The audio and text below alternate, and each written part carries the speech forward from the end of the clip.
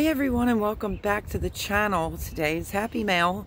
I wanted to do a shout out uh, to Indiana Backyard Gardener. She hit her 1K. She just needs watch hours. Um, her first giveaway because she did it like a two-part uh, series on her channel for a giveaway. And I won both times. I don't usually get that lucky. Okay, so I took it out of the envelope. This is a five gallon grow bag, which I'm super excited to have. I've never had a grow bag before. Right here. And it has the handles, so a five gallon. They also won Pico de Gallo mix right there. Pretty cool. Um, the second one that I won on, I have to email her and um, that'll come at a later time. So grow bag, and this is what I won from her 1K subscriber giveaway.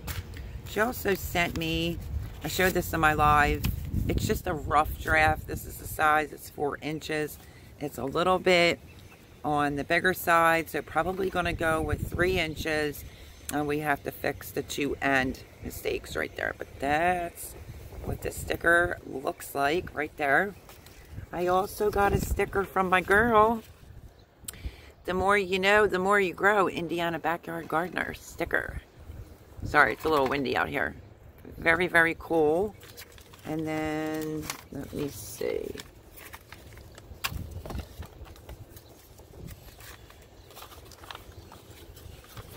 Let's see if I left it.